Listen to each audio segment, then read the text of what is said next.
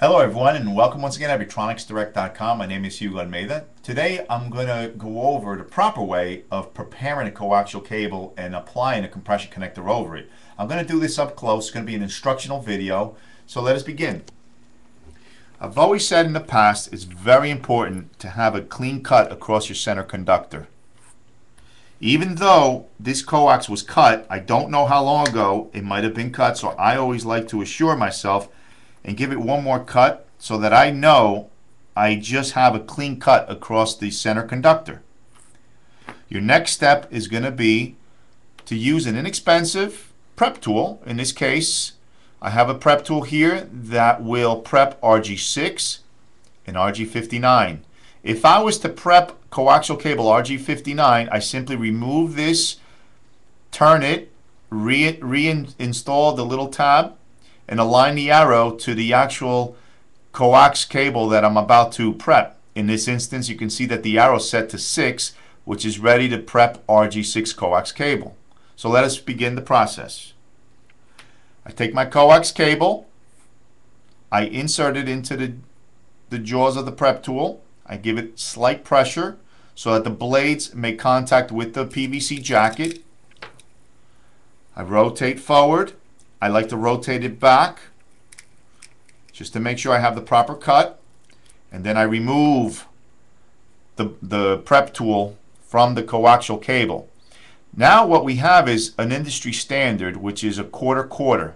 Quarter inch of exposed center conductor, quarter inch of some braid shielding and foam dielectric. What we do next is we pull back the braid over your PVC jacket you want to make sure that your center conductor is also clean and free of any other uh, braid or so I'd like to just make sure by just rubbing my nails across the top there. There you go. And our final step is actually going to be to insert a compression connector over the coax cable. You give it a couple turns. Couple things to keep in mind.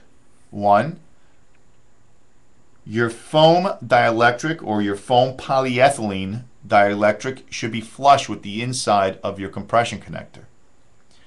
A little tip that I like to give is I like the center conductor to slightly be exposed beyond the lip of the compression connector.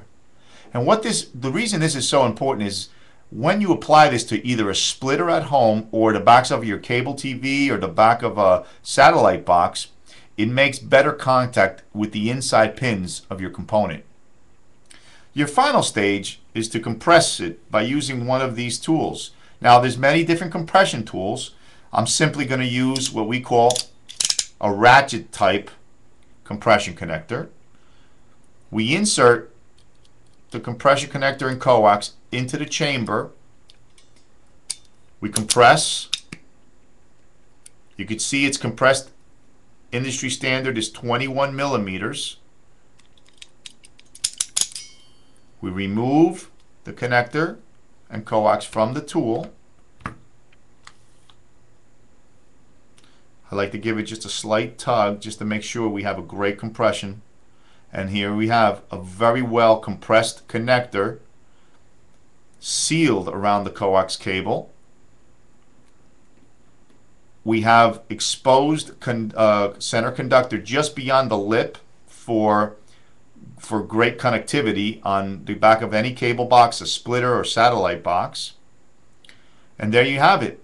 I hope, my friends, that this video was helpful. Should you have any questions, feel free to always send us an email. Again, I ask that you follow us on Twitter, read our blogs, become a fan on Facebook make the connection. I'll see you soon. Thank you.